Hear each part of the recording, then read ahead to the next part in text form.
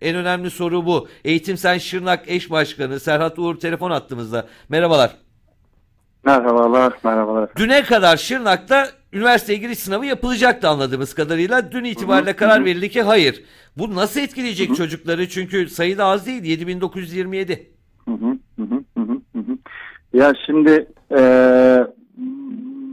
yani hükümetin ya da Milli Eğitim Bakanlığı'nın genel yaklaşımı ya birçok konuda olduğu gibi e, e, teknik.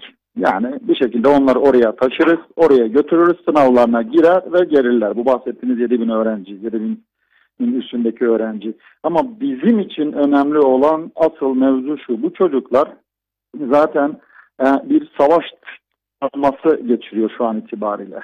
E, o çocukların kendi bulundukları yerlerde değil de bunun üstüne bir başka adeta geçertircesine e, e, götürülmesi e, veyahut da gitmeye e, zorlanması amiyane tabirle e, bir başka travma. Yani bizim için önemli olan bu çocukların dağılan ruh haliyle bu halle sınava bir şekilde girdiriyor olmasıdır. Bununla ilgili biz e, bu çocukların e, e, e, uğradığı zararı bir şekilde telafi edeceğiz demişlerdi hatırlıyorsanız birkaç e, ay önce özellikle bu sokağa çıkma yasakları iyice gündemleşince biz bunu telafi edeceğiz dediler. Bizde telafi denilirken bizde uyanan kanı şuydu. Bu çocuklar ya bir ek puanla ya da biraz ertelenen bir e, e, daha sonraki bir zamanda sınava tabi tutulacaklar diye bir e, açıkçası e, kanı uyandı. Şırnak için söylüyorum. E, ama e, gelin görün ki e, e, önemli olan e, şey değilmiş. Yani bu çocukların bu ruh haliyle sınava girmesi değil de bir şekilde öyle. Ruh halleriyle ilgilenmiyor devlet diyorsunuz. Ruh halleriyle onların e, Tabii ki, ne tabii ki bu düşündükleri ikinci, üçüncü da beşinci, beşinci planda değil mi? Bu, bu, bu şu an matematik olarak sınava Bakın, girdi mi girdi, girmedi mi girmedi. Biz soktuk mu soktuk, Aynen öyle. sokmadık, Teknik, sokmadık mı diye işte bakıyor. olaya, olaya her zamanki gibi teknik yaklaşılıyor. Peki Şimdi bakın bizim bazı çocuklarımız yol parası yok. Bu da ayrı bir ıı, şey konusudur. şey, Yol devlet götürmüyor mu o çocukları? Üzerinden, evet belediyeler üzerinden, e, sivil toplum kuruluşları üzerinden bizim işte e, e, Batman, Antep e, ve çevre illerde okuyan üniversite öğrencilerimizin e, e, imece usulü e, kendi evlerini kapı- kapılarını e, kardeşlerine açmasıyla bu sorun aşılmaya çalışılıyor. Ya ama Yani şimdi çok şöyle bir şey yok. Şöyle bir şey okuyorum. Ben Şırnak Valiliği Sosyal Yardımlaşma Dayanışma Vakfı aracılığıyla öğrencilere 1 milyon 182 bin lira ulaşım ve konaklama ücreti yardımı yaptı. Şırnak Belediyesi öğrencilere 9 otobüs tahsis etti diyor.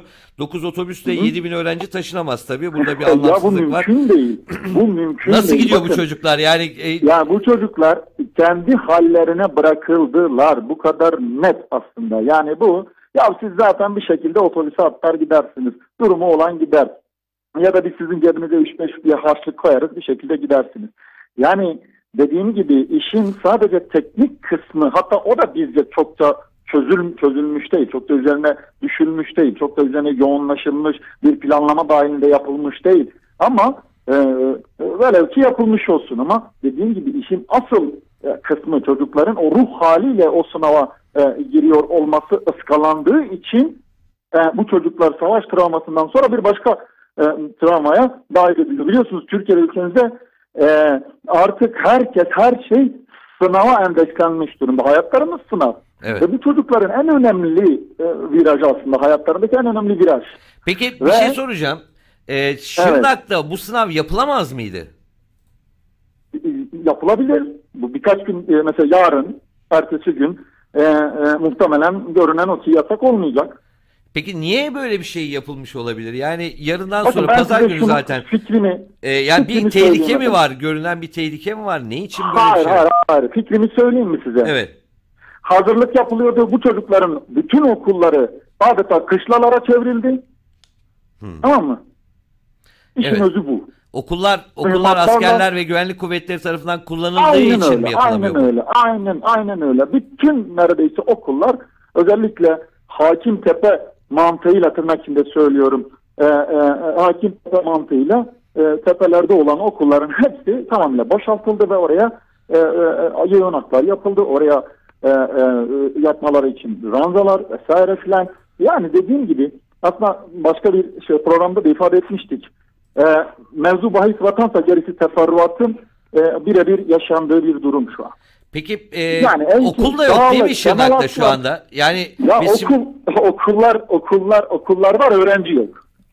okullar var. Öğretmenler okula gidebiliyor mu? Ok- ama okullarda şey dediniz. Tabii ki. Karargah olarak Hayır, bakın şöyle şöyle söylüyorum bakın. Merkezde merkezde e, okullar yani hani bizim şey olarak böyle bizim merkez okullar yani merkez mahallelerdeki okullarda e, öğretmenlerimiz e, gidip gelebiliyor. Yani belki çoğu için söylemeyebiliriz ama gidip gelebiliyorlar. Ama öğrenciler bu özellikle son bir aylık bu e, e, e, e, e, e, ne derler ona yapılan propagandalarla bu öğrencilerin çoğu zaten e, gitti. Bir de misafir öğrenci diye bir şey çıkardılar. Öğrencilerin önemli bir kısmı gitti. Benim bahsettiğim kışlalara çevrilen yerler biliyor musunuz? Duyuyorum duyuyorum dinliyorum evet. evet evet. Ee, kışlalara çevrilenler genelde dediğim gibi etrafta olan ve bizim e, e, hani öğrencilerin e, çoğunu alabilecek sınav için söylüyorum çoğunu Evet. alabilecek ilkelerden de gelecek öğrencileri alabilecek okullar şu an o konumda zaten. Ha, o zaman zaten Ve bunun düğmeye basıldığı an düğmeye basıldığın evet yasak başladı denildiğinde diğer okullara da zaten tek tek şey yapılacaktır yani. Ya diğer taraftan kullanılacaktır belki. Tamam. Evet. Ya onlar da Anlaşıldı. onlara Şimdi dahil Tam olarak anladık. Pekala. Çok Evet, teşekkür ediyoruz evet. katıldığınız için. Rica- Serhat Uğur'la konuştuk. ederim. Eğitim Sen